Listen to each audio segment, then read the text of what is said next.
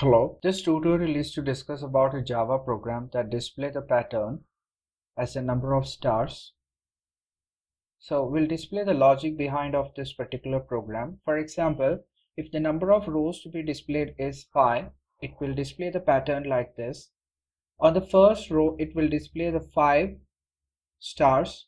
In the second row, we have to first display a space followed by 4 stars.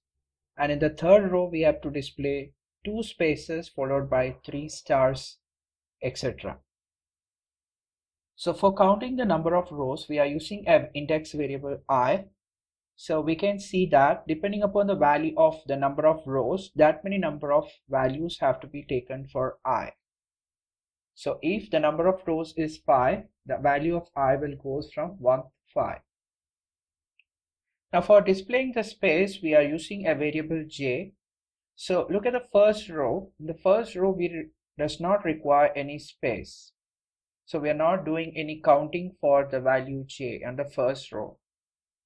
On the first row, we display how many number of stars. We have to display five number of stars. So we are using another index variable k for that. So k value will range from 1 to 5 because we want to display 5 stars. In the second row, we can see that we are displaying four stars. So we require four counting.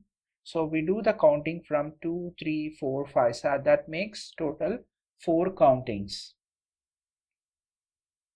And we require one space. So we do the counting as one. Look at the third row. In the third row, we require two spaces. So we are counting from one to two. And on the fourth, we require three spaces and on the fifth we require four spaces. So for four spaces we are counting the value of j from 1, 2, 3 and 4. And look at the fifth row we require only one star to be printed so we are counting only 5. So the value of j and k is related to the value of i. For example, consider the value of i as 3 so the value of j is ranging from 1 and 2. That means it always starts from 1 and it goes up to i minus 1. For example, when the value of i is 3, it is going up to 2. When the value of i is 4, it is going up to 3. And the value of i is 5, it is going up to 4. So it is always i minus 1. So we found the relation between j and i which is j should always start from 1 and it goes up to i minus 1. Now what is the relationship between i and k?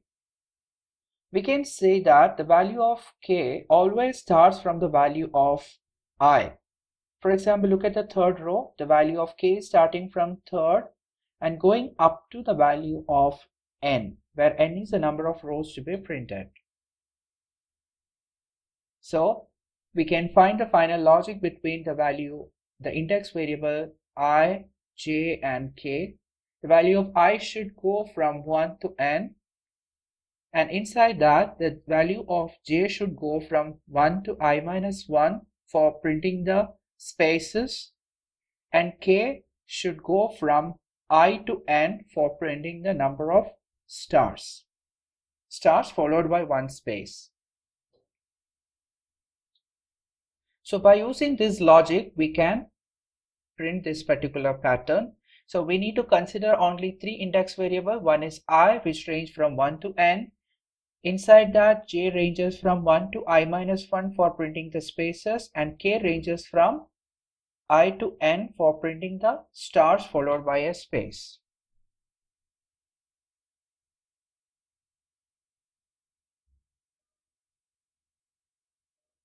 In the NetBeans, we add a new class, Java class, by right-clicking on the project. The class name which we have given is pattern.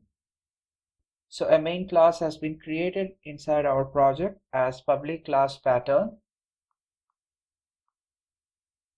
We write the main method inside the pattern class as public static void main. The main takes a parameter, an array of strings.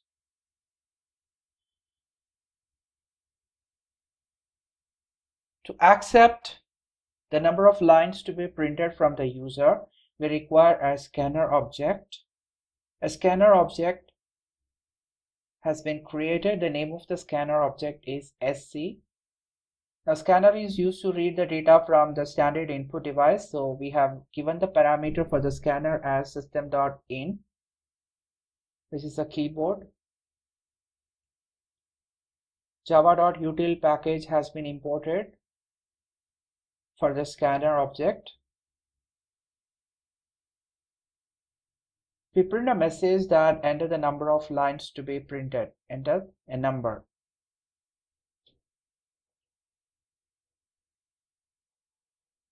Now the number can be read from the user by using the scanner object. The system uh, S is capital letter. The next int method of scanner class can be used to read an integer from the user and the integer value which is the number of lines to be printed is stored into the variable n. Now for printing the stars and the spaces we use the same logic what we have discussed. For iterating through the rows we are using a for loop with an index variable i. We know that the value of i should start from 1 and it should go up to n. So that's why we have written i is equal to 1 and i is less than or equal to n. So it goes up to n. Now for printing the spaces, we require another for loop with the index variable j. The value of j should start from 1 and it should go up to i minus 1. So that is why we have written j is less than i. So since we have written j is less than i, j will go up to i minus 1 and inside that loop we are printing a space. Uh, the next for loop we are using for printing a star followed by a space by using an index variable k. The value of k should range from i up to n. So that's why we have initialized the value of k as i and it goes up to n because k is less than or equal to n. So inside that we are printing a star followed by a single space. One the one complete row has been displayed. That is mean that that means spaces followed by stars and spaces.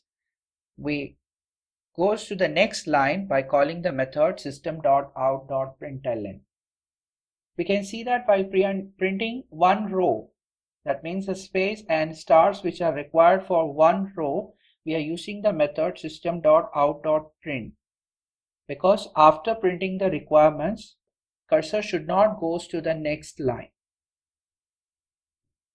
So execute and see the program output